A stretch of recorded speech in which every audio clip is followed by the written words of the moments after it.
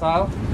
Saya benar-benar minta maaf ke seluruh masyarakat Indonesia, kepada keluarga saya.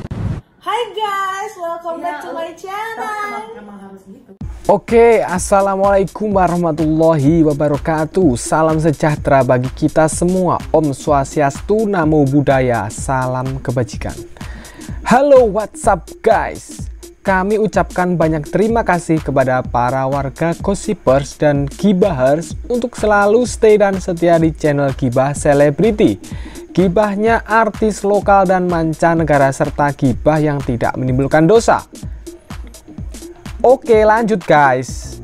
Untuk pembahasan berita hangat hari ini adalah MYD atau dikenal dengan Mikhail Yukinobu De Fretes akhirnya meminta maaf Sebelum kita membahas berita hari ini, jangan lupa dukung channel ini dengan cara like, comment, and subscribe serta nyalakan loncengnya agar mendapatkan notifikasi berita artis terbaru dan terhangat. Sebelum itu, kita intro dulu. Minggir awas, plikes. Oh, oh.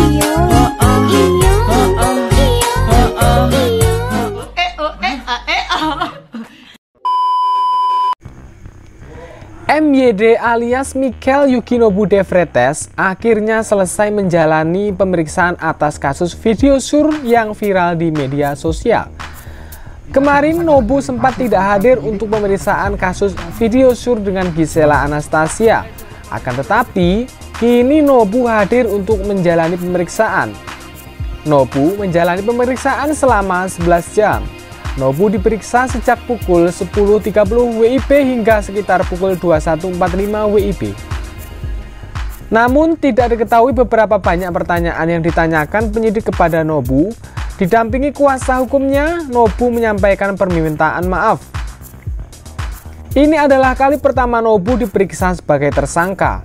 Setelah diperiksa polisi, Nobu mengaku menyesal ini kata Nobu di Polda Metro Jaya, Jakarta Selatan, Senin 4 Januari 2021. Untuk hal yang terjadi selama ini, saya benar-benar menyesal.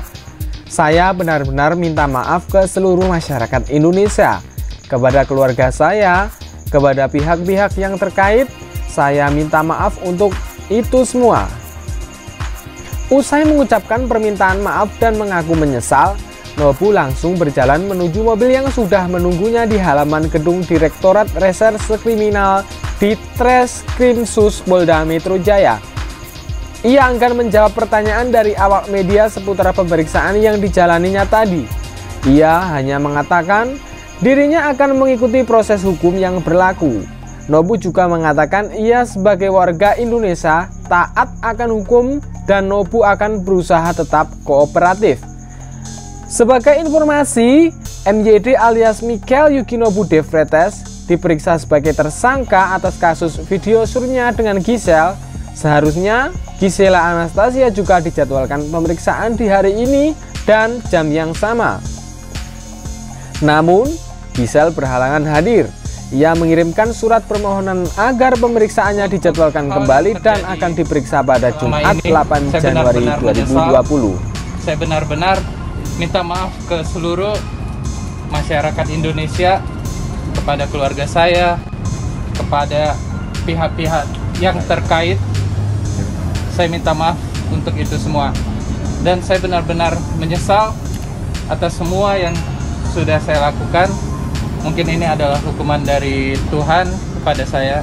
Dan saya mohon untuk semua teman-teman uh, mohon dukungan, doa, dan benar-benar saya minta maaf untuk semuanya.